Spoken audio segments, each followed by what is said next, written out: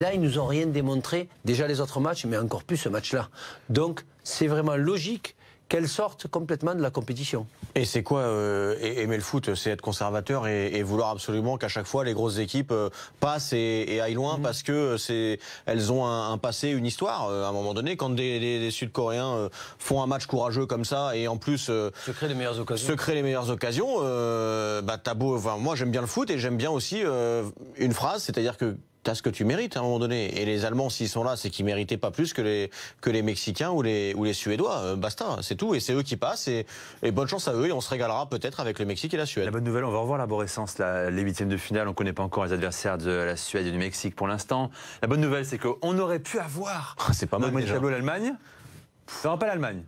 Non. Notre partie de tableau. On ne jouera pas l'Allemagne en quart de finale si tout va bien. Euh, en demi-finale, si tout va bien pour nous. Non, mais pour, pour la France, Nicolas, c'est possible qu'il y ait un Mexique-Serbie? Ouais, t'as de ce côté. Bah oui, Mexique-Serbie. Ça veut dire quoi Qu'on aurait euh, une Et Argentine. si tu bats l'Argentine, tu, tu, tu as à peu près des, des équipes abordables pour se retrouver en finale. Mais on va être champion du monde, messieurs.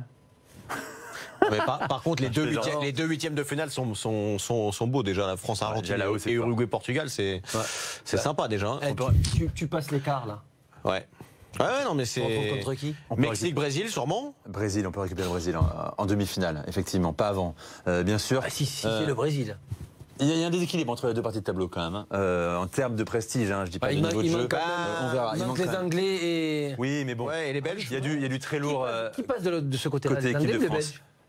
Euh, Non, les Anglais et les Belges sont- sont Ils sont à égalité parfaite pour l'instant. Mais ils sont, ils sont de- ils sont sur quel côté du tableau, le- les Anglais et les De Belges ce Il y côté. en a un de ce côté-là et un de ce côté-là, logiquement. Ah. C'est- C'est reversé. Le, pro- le premier. Ouais, alors, donc celui-là, on va vérifier ça. Celui-là, celui-là sera plus faible. Pas sûr. On verra. Euh, on rappelle que Si. Belgique et Angleterre, ils sont à égalité de points. Espagne. Et même, même différence de but. Là-bas, t'as quand même l'Espagne et la Croatie. Croatie. Et l'air de rien, le pays organisateur, c'est toujours quelque chose de spécial aussi. hein. Mhm.